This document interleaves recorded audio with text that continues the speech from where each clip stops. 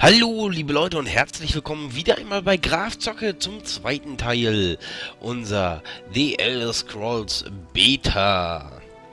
So, wir stehen jetzt hier quasi vor der Tür, wo wir als nächstes rein müssen. Wir haben ja zuletzt hier draußen die ganzen äh, bösen, bösen Typis da abgeschnetzelt. Ähm, da hatten wir noch einen Stufenaufstieg, da schauen wir jetzt mal rein. Also zuallererst ähm, kann man hier natürlich nach dem Stufenaufstieg Attributspunkte vergeben, ne? Ausdauer, ähm, halt so, so wie man schlagen kann, wie kräftig man schlagen kann. Man braucht halt für, für so Spezialangriffe, wie ihr es im letzten Video gesehen habt, ähm, werdet ihr, denke ich, nachher auch noch sehen, ähm, Ausdauerpunkte.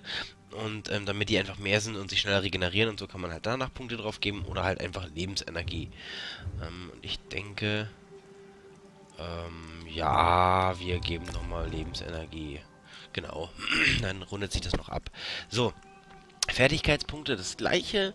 Ähm, da kann man jetzt hier zum Beispiel gehen auf Meuchelmord. Das ist jetzt ein, eine Sache, die direkt von meinem Assassinen ist. Ähm, Fähigkeiten, Veränderung, verändern. Aha, okay. Assassinenklinge. Ja, es sind halt quasi so, so Zaubersachen, die ich jetzt hier einstellen könnte oder freischalten könnte. Ähm, wie das hier oben zum Beispiel. Das habe ich schon, das ist, liegt bei mir momentan auf Y, glaube ich. Ne, auf, auf LB, genau. Ähm, hier kostet Magika, also Magikpunkte, was ich euch gerade eben erzählt habt. Und ähm, ihr rammt eine magische Klinge mit tödlicher Präzision an euren Feind und verursacht 223 Magieschaden. Ziele mit weniger Leben erleiden 300% zusätzlichen Schaden. Also das ist quasi so, so wie so ein Finish-Move. 223 Schaden normal und Ziele, wenn sie wenig Leben haben, also scheiß, wenn sie schon fast tot sind, kriegen sie nochmal 300% draufgebrummt. Ja? Und dafür kann man das alles jetzt hier quasi einsetzen. Schatten ist für mich sehr interessant, weil ich halt gerne schleiche und sowas. Ähm, ja, hier. Was ist das?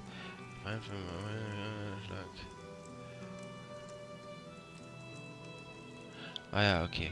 Nee, ich würde sagen, wir ver verbessern dieses Mal das Schleichen ein bisschen mehr. Also das hier, äh, das ist kein Schleichen, das ist direkt Unsichtbarkeit, ja.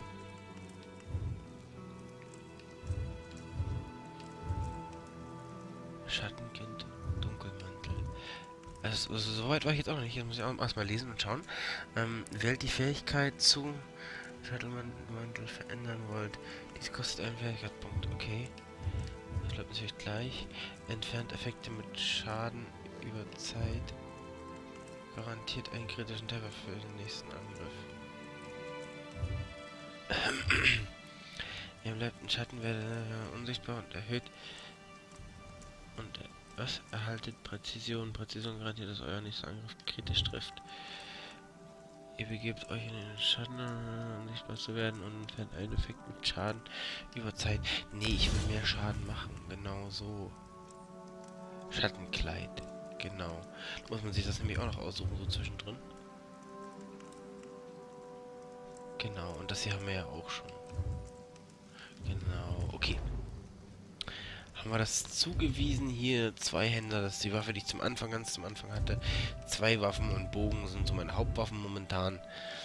Ähm, ja, bei Bogen habe ich jetzt ich noch gar kein Dings extra. Das kann ich jetzt nichts mal machen nach dem nächsten Stufenaufstieg. Und ja, okay. Gehen wir direkt erstmal weiter jetzt. Ne? Bevor wir hier wieder Ewigkeiten rumlabern. Gehen wir halt mal hier reingucken. Und hier ist schon wieder ganz schön was los, so wie es aussieht irgendwie. Äh. Diese Totems scheinen eine Kombination aus Wind und Geist zu nutzen. Ob ich wohl...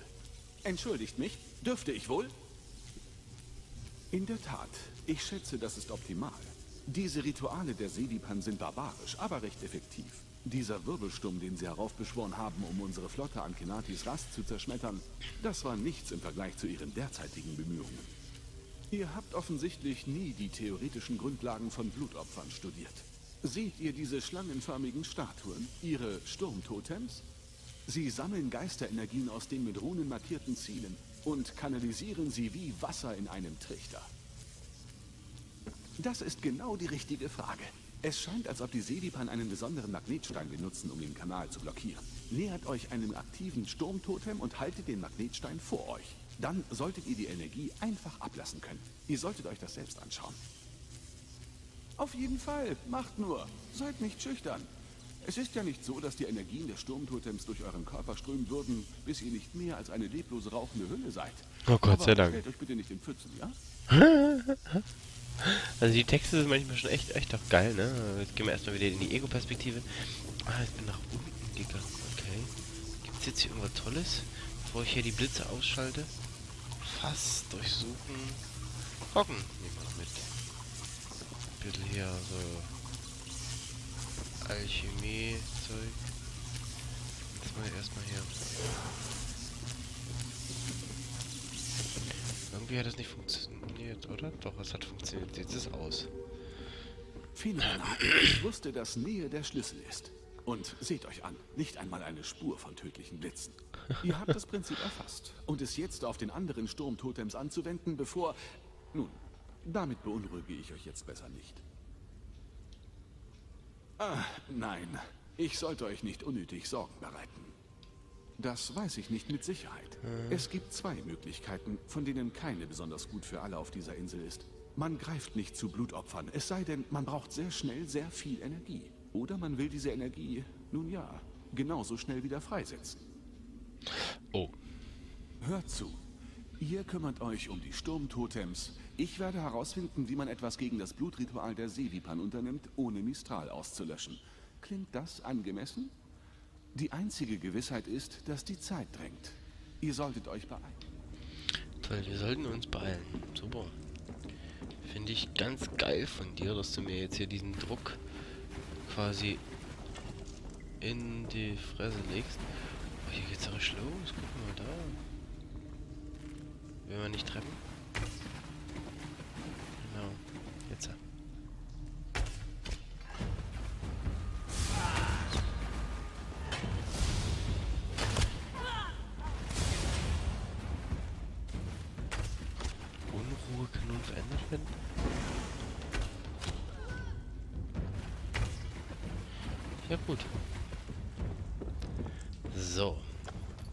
Dein Stab, den nehmen wir mit, den können wir verkaufen, ist nicht das Problem. Da hinten ist gar nichts. Na gut, dann ist hier hinten eben nichts. Aber da vorne, gucke, da ist so ein Ding. Fünf Stück sind es noch an der Zahl. Den ersten haben wir direkt hier. Der hier kriegt erstmal eine ab. Ja, ja, du alter Zauberauto. Hau dir hier mein Pfeil ins Gesicht. Oder Schwert. Meine Partnerin hier. Und Score.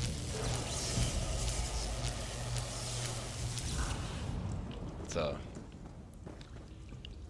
Jetzt mal hier wie, wie, wie im Kernkraftwerk hier mit Tesla-Spulen und so. Geht ordentlich Power voran. Da ist der nächste. Ey, ist sogar nicht weit weg. Das wird, wird nicht lange dauern, die Quest. Aber ich hab's, finde ich auch, haben sie schön gemacht. Ähm, so in der Anfangsphase ist das alles hier noch nicht so schwer und nicht so langwierig. Alles noch ein bisschen einfacher. Oh, ne, und jetzt zum Beispiel steht hier die Tante genau vor uns, aber wir können den Typen trotzdem treffen. Durch sie durch, geht auch der Pfeil. Und, äh, ja. Das ist ja vollkommen normal so, ne? Genau, biom, biom, biom, biom. Fertig. Beidhänder, Schild, nee, moche nicht. Dash, moche nicht. Ausschwärmen! So, wir das Ding hier wieder aus, komm. Wir sind jetzt online, ne? Habt ihr vielleicht gerade gesehen, da war jetzt, äh, so ein zweiter Typi. Ja, und ich bin jetzt mal hier so richtig, richtig kackenfrech. Bevor der mir hier das wegnimmt. Ich weiß jetzt halt nicht, ob jetzt ähm, er die Quest auch beenden kann oder nur ich, wenn wir hier beide drin sind. Ähm, das ist auf jeden Fall zufällig. In anderen Games ist es ja so, wenn du hier so eine Höhle betrittst, dann äh, bist du für dich alleine. Hier ist es nicht so. Auch hier äh, kommen dann einfach so random Online-Leute durch. Und ähm, deshalb ist man dann hier mehr oder weniger zum Zusammenspiel schon fast wie gezwungen. Ich finde es nicht schlecht. Ist ganz cool eigentlich, weil es ist ja eigentlich auch irgendwo ähm, realistischer, sag ich mal, ja. Wenn da draußen, keine Ahnung, 100 Leute vor der Höhle rumlungern, ne, dann geht man rein, auf einmal ist man ganz alleine und obwohl 50 gesagt haben, ja, ich komm mit, äh, nee, ist komisch.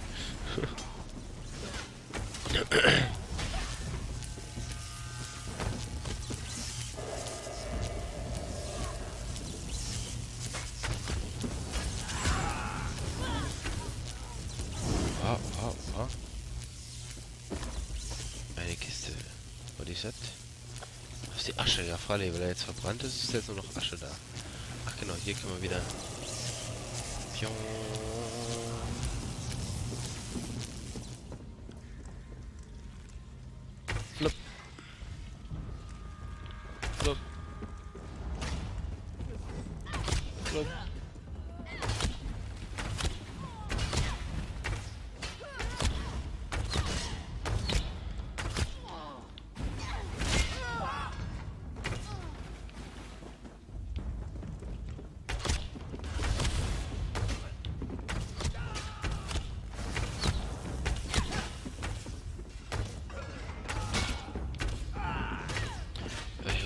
Mehr. Von hinten, von vorne Zauberei, Schwert, Heinis und und und. Hier kommt jetzt nochmal einen dicken Pfeil in die Fresse. So. Richtig aufgezogen, richtig aufgeladen, den Pfeil. Komm hier, Bobby, du kriegst auch nochmal einen dicken, fetten Pfeil.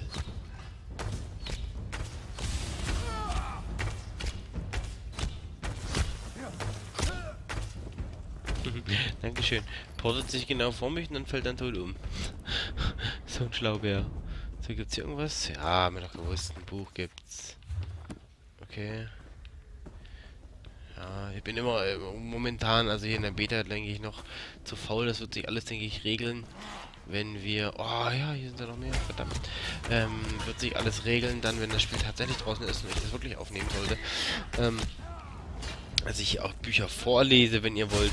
Ähm, ich habe das sogar in Skyrim gemacht, ja. Also ich bin eigentlich wirklich jemand, der sogar die ganzen Bücher liest, äh, die man da zu finden hat, weil es einfach irgendwo äh, Spielgeschichte ist, auch wenn man dafür eigentlich nichts kriegt, weder Geld noch irgendwelche Erfahrungen noch sonst irgendwas. Aber ähm, ich habe es gemacht, einfach weil ich es geil fand, ja. Weil die, die Mühe, die sich die Entwickler da gegeben haben, oh Gott, ich bin gleich tot. Fällt mir jetzt gerade mal so auf. Oh, schnell mal heilen lassen hier. Ne, die Mühe, die sich die Entwickler da geben, gegeben haben und wirklich solche Bücher geschrieben haben und dann auch übersetzt haben, also oder andere Leute, die das übersetzt haben auf Deutsch, ne, also das finde ich schon Wahnsinn und beeindruckend, ja, also äh, das muss man wirklich äh, irgendwie ehren und deswegen denke ich, ist das ganz cool, auch wenn man sich den ganzen Quark da durchliest. Ähm, ja, so denke ich darüber. Ja, aber jetzt momentan hier äh, geht es ja auch ein bisschen auf Zeit. Ähm, will natürlich jetzt hier noch ein bisschen, ein bisschen Action reinpacken wie möglich. Und jetzt hier nicht, währenddessen wir hier mitten in der Höhle sind, wir eigentlich voll am Kämpfen sind, ja, stehen bleiben und erstmal so schön fünf Minuten Buch lesen. Äh, ich glaube, das ist, kommt nie so pralle. Was ich jetzt halt schade finde, man konnte in Skyrim, in dem Offline-Game, konnte man ja ähm, die Bücher mitnehmen, konnte sie zu Hause in ein Bücherregal tun. Und ähm, ja, das geht jetzt hier wahrscheinlich natürlich nicht mehr. Die werden an ihrem Platz liegen bleiben, die Bücher. Oder beziehungsweise stehen bleiben. Und dann müssen wir halt gucken, wenn wir dann sowas lesen wollen, dass wir uns einen Ort aussuchen, wo wir da besser rankommen. Ich meine, hier gibt es ja auch in Städten Bibliotheken und so ein Quatsch. Also, äh, und die werden dann auch recht, denke ich, alles haben. Ähm, ja, dann kann man ja da auch mal hingehen. Ist lustig. Geht man in-game, äh, geht man zur Bibliothek, was man im wirklichen Leben irgendwie schon Ewigkeit nicht mehr gemacht hat. Letzte Mal irgendwann zur Schulzeit, als du da musstest, ne?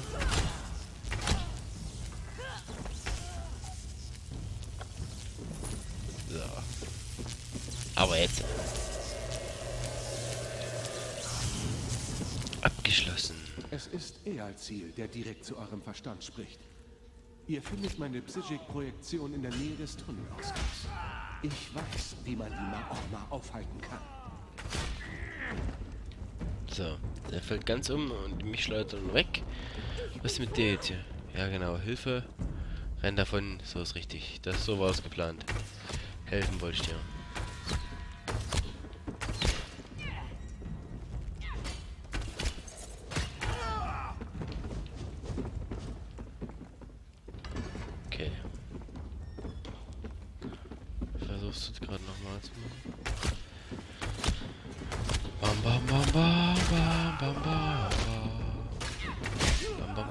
Bam bam bam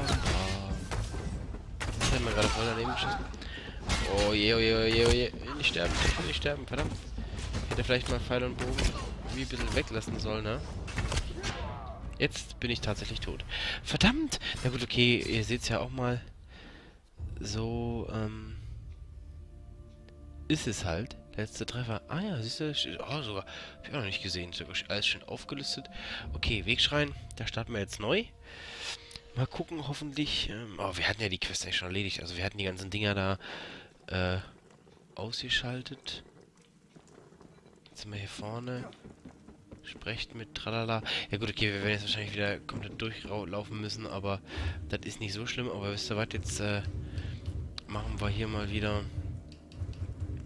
ähm, einen auf Nahkampf. Genau, das da will ich. Und neben Hand will ich kein Schild, will ich meine zweite Axt. So sieht das aus. Prügeln, kloppen, bis der Arzt kommt. Ne, deshalb schön hier zwei Waffen. Prügeln, kloppen, bis der Arzt kommt. Ja, genau. Dauert ja im Normalfall nicht so lange. So, jetzt hier, komm. Äh, so ein bisschen, wie ein bisschen effektiver hier. Reden will ich nie mit der Frau. Ja, falls ihr jetzt denkt, hier, warum hüpft denn der so die ganze Zeit rum? Ähm, das liegt halt daran, weil diese Interaktion und Springen ein Knopf ist. Wenn du nichts zum Interagieren hast, springst du halt. Und äh, ja, diese Steuerung ist mal ein bisschen, bisschen sehr empfindlich, ein bisschen sehr genau. Wenn du nicht genau drauf zielst auf den Körper, den du durchsuchen willst, dann springst du eben. Hier war doch noch was. Gießen. Bananen. Äh, Quatsch, nicht Bananen. Erdbeeren. Aber äh, irgendwie auf Spanisch oder so geschrieben. Und ähm, ja, das ist, denke ich, auch einfach nur so ein Translation-Fehler vom der wieder.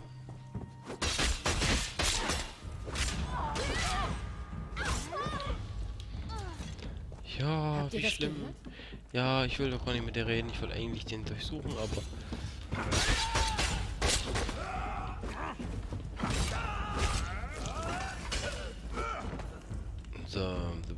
down. Komm, los, hoppla hopp.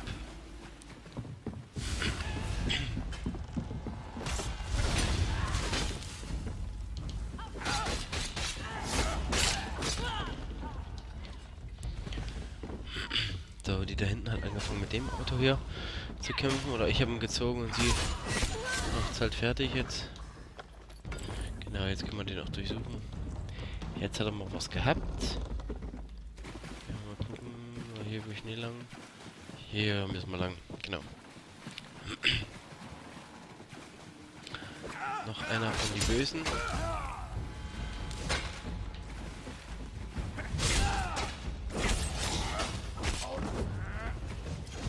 Habt ihr das gehört? Rang 10 bei zwei Waffen. Sehr schön. Was haben wir für ein Level? Ah, Okay, immer noch 7. Ich dachte, jetzt hat sich ein bisschen mehr getan bei den Balken.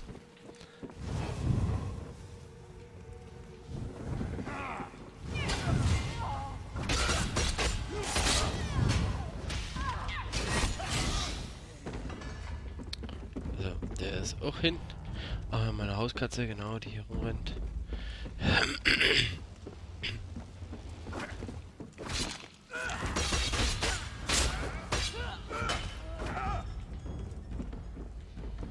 So. Wir gehen jetzt aber auch direkt weiter. Also ich schaue jetzt nicht mehr, ob es hier irgendwo in den Kisten noch was gibt. Habe ich jetzt gerade eben auch keinen Bock mehr zu. Äh, wir sind ja sowieso recht gut ausgerüstet, also äh, haben wir jetzt hier nicht immer Ich irgendwie weiß, extrem Die Bedarf. Kreatur er Ja, sein, ja. ihr werdet... Leb wohl. Okay, lieber Geist. Also wie gesagt, wenn wir das hier wirklich richtig Let's Playen werden sollten, dann werden alle Dialoge ähm, ausgesprochen werden. Ist ja sogar Soundaufgabe extra schön auf Deutsch. Ne, von daher machen wir das. Was ist jetzt hier schon wieder los? Was machen die denn hier?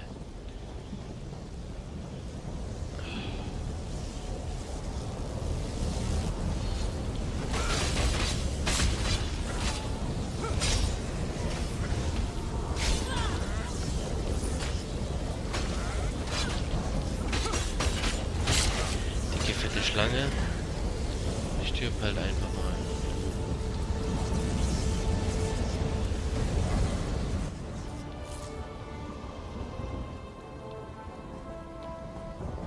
Mach das, Nerdy. Was machst du? Guckst du dem auf den Arsch oder was? Ey, Alter. Ja, mal ein Stück zur Seite hier, wenn der hier unbedingt zaubern will. Ich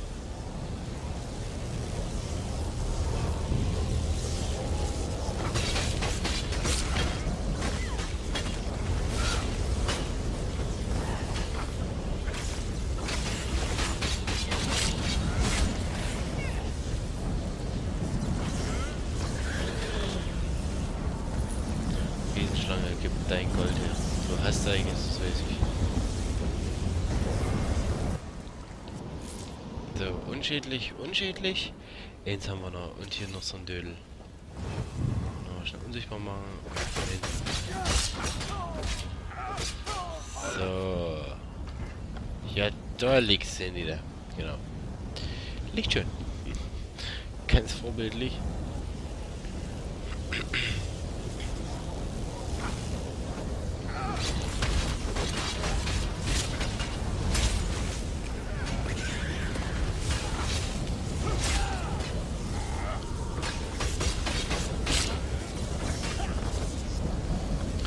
Auch wenn du blau leuchtest, das bringt überhaupt nichts. Du verreckst trotzdem. So. Machen wir dich auch nochmal mit Strömelingen kaputt. So.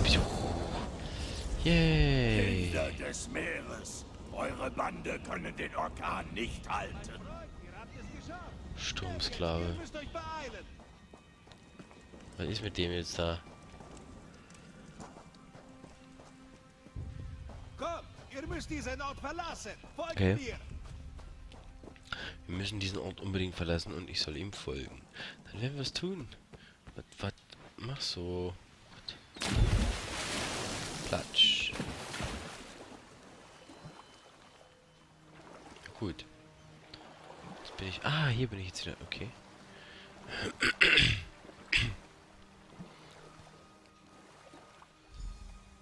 Abgeschlossen. Kommt vom Platz. Mal mit dem wieder reden. Mein Freund, dem Tod so triumphierend zu entkommen, ist ein ständiger Nervenkitzel, nicht wahr? Ja, ein bisschen. Natürlich nicht so aufregend für die Maorma. Dank eurer Bemühungen sind die Maorma entweder geflohen oder tot. Genartis Rast ist sicher und aus freien Sehr Stücken schön. Teil Gibt's des ein neues Messer, gleich mal angucken? Wenn ihr es denn unbedingt wissen wollt, Rasumdar behält vielversprechende Leute im Auge. Super. Quest abschließen. Messer der Sturmsklaven. Da müssen wir doch gleich mal reingucken. Inventar. Haupthand. Ja, toll. Wird beim Anlegen gebunden. Messer des Sturmsklaven. Zweihändig, Stufe 6. Schaden ist okay. Allerdings halt zweihändig. Bringt mir echt gar nichts. Erhält Verzauberung 150%. Was denkt ihr, ist geschehen?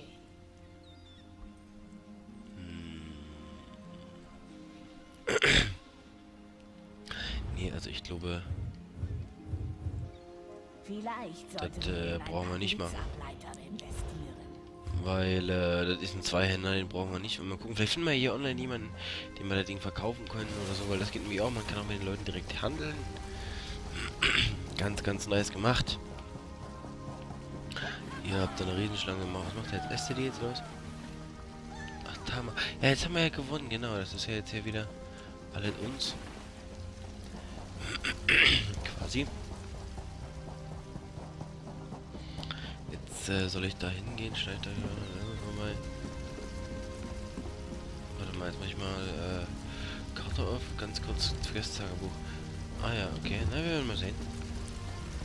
Wollen jetzt von mir, dass ich hier die andere Quest von da ganz unten mal, das ist außerhalb der Stadt hier.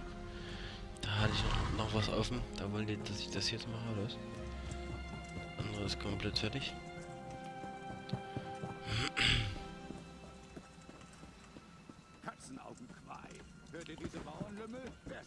Ja, genau. Jetzt sind wir wieder hier. Hier waren wir erst schon mit dem Mordfall aus dem ersten Video. War ja hier. Sieht so aus, als ob die Sonne gleich untergeht. Also Nacht habe ich hier noch nicht gesehen. Ich weiß gar nicht. Gibt es einen Tag-Nacht-Zyklus? Kann schon sein. Ich habe noch keinen richtig mitbekommen. Was machst du hier? Du NPC? So Habt Clown ihr oder was? Bei der Bettlerin. Ach. Ach Achso, setz dich da hin. Ach, du willst hier oben klauen, oder was? So ein Schweinebärchen. Hey, hey, hey. So, okay. Und ich soll jetzt... Wo soll er hin? Da soll wirklich hin. Wisst ihr was? Kommt. Ja, wir haben die umsonst hier den wunderschönen Karl Hengst.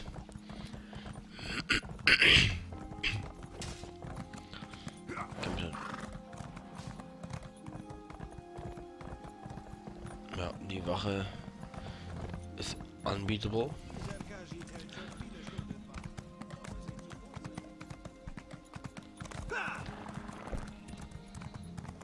Und den noch mal ein bisschen was von dem Land sehen. Schön von der Grafik Blümchen. Ah, gucke, hier irgendein hässliches, fettes, blödes Monster hat uns angegriffen. Das, das uns vom Pferd geschmissen hat? Klasse. Der Teufel ist tot. Und Buggy ist es auch. I. Also das ist jetzt eindeutig ein Bug. Oh mein Gott. Solche Dinger, die kann man definitiv verzeihen, ja. Ich meine, äh, die lernen ja draus äh, aus dem, was wir hier machen und sehen. Ähm und äh, solange wir hier die Beta nicht abstürzen und wir weiterhin schön Spaß haben können, ist das alles im absolut grünen Bereich, denke ich. Ja, selbst wenn sie abschmiert oder die Server down gehen oder sonst was. Das sind halt alles Tests, die durchgeführt werden müssen, so sehe ich das zumindest. Äh, und ähm, ja.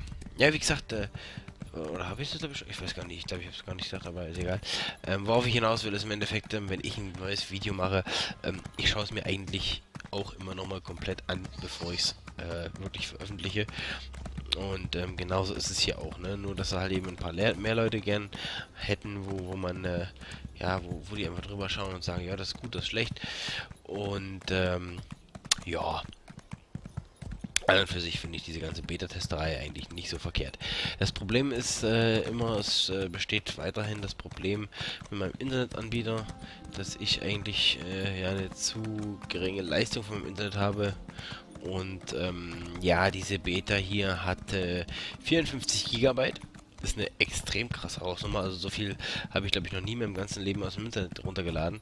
Und ähm, das hat weit über 24 Stunden gedauert. Also 36 waren es glaube ich sogar schon fast. Und ähm, das tut mir leid, aber das ist eine Sache, das geht überhaupt nicht. Ja, da ist eindeutig mein Internet wieder dran schuld. Und äh, ja, wie der Upload dann aussieht, könnt ihr euch auch vorstellen. Aber wenn ich ihn Mistral anlege, und von daher äh, haben wir mal einfach gucken, was da rumkommt. Ja? Ja, wir fahren mal rüber. Ich kann euch nach Wulkelwacht in Auridon bringen. Ich habe viele Sachen, die man den Hochelfen verkaufen kann. Okay, super. Im Boot übersetzen zu den Hochelfen, okay. Das soll ich ja jetzt irgendwie, äh, muss ich mich da in einem anderen kleinen Dorf irgendwo reinschleichen, um eine äh, Prinzessin zu warnen, wo ein Mordkomplott auch auf sie eingesetzt ist. Und ich habe das so ein bisschen äh, aufgedeckt und ähm, ja, jetzt soll man da halt irgendwie versuchen an die ranzukommen, weil die ist natürlich abgeschottet und egal was ich da sage, ihren Wachen, die lassen mich nicht durch. Und ähm, das ist jetzt hier erstmal der nächste Step in dieser Quest. Verschaffe den Zutritt. Ähm, ja. Gucken mal, gucken ja. Keine Sorge, nur ihr könnt mich sehen. Kommt, wir müssen reden. Das ist der Prophet, mit dem bin ich zusammen äh, hier auf Tamriel. Das ist diese ganze Welt, dieser ganze Kontinent hier angekommen. Wir waren vorher, ja... Ich will nicht zu viel verraten, wir waren vorher in einem anderen Ort. da seid ihr ja in Sevda. Wir müssen sofort reden. Hört gut zu. Okay. Ich habe eine sichere Zuflucht gefunden, von der aus wir unser weiteres Vorgehen planen können. Ihr müsst mich dort. Ich bin an einem sandigen Ufer erwacht. Einem Strand, der sich vor einer belebten Elfenstadt erstreckte. Vulkelwacht. Die Zuflucht ist in einer Höhle am Meer außerhalb der Stadt. Genau dort werdet ihr mich finden. Ich werde sofort kommen. Ja genau, findet die Zuflucht. Eine heikle Lage. Was ist es jetzt? Die Zuflucht, genau. Eine heikle Lage ist wieder was anderes. Und dafür sollen wir jetzt wohin? Genau, da oben rein. Ah, ja. Jetzt bin ich runtergeflogen. Das wollte ich natürlich nicht. Aber live ist bekanntlich Pain. Ja, deshalb passiert das auch gleich. Ah ja, hier war, ja logisch, genau, hier bin ich angekommen. Ach, genau. Das hier ist die Stadt, der allererste Ort, wo ich war. Wo alles angefangen hat, von dem Schiff, da bin ich runter. Mit dem bin ich hier angekommen.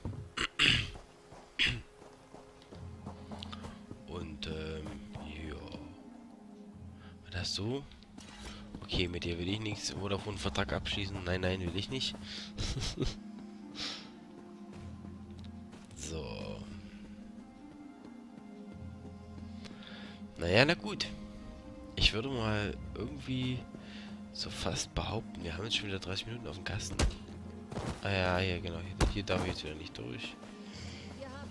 Ähm, ja, wie gesagt, ich würde jetzt mal behaupten, ähm, das war es erstmal für diese Folge.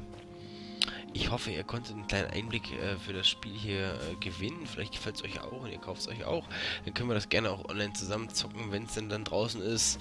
Allerdings müsst ihr beachten, gell, ich spiele nur auf der One. Auch dieses Game hier wird auf meiner Xbox One landen. Also, ich bedanke mich fürs Einschalten und hoffe, ihr seid das nächste Mal wieder dabei. Vielleicht auch erst dann wirklich, wenn es losgeht. Im Juni oder Juli ist das, glaube ich, wo das Game rauskommt. Und ähm, ja, wünsche euch bis dahin auf jeden Fall eine angenehme Zeit. Euer Graf Zocke, haut rein. Ciao, ciao.